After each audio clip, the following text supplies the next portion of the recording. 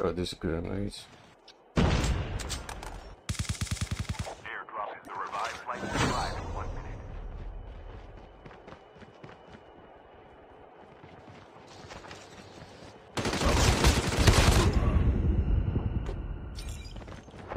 Bro, these grenades. The first one was supposed to get inside that room.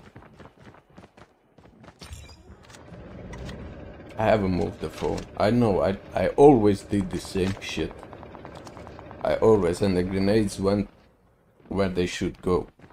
But this time, even before this update, I, I saw this little fucking move that they did on the character when he's throwing grenades. And second, the second grenade was supposed to go as well in that. And he stopped up in here like makes no sense. The second grenade came on me. This nonsense shit that gets you killed, man. I would have told the grenade, probably I would have delayed the revival of that guy. If not, if not, I would, I would have killed him.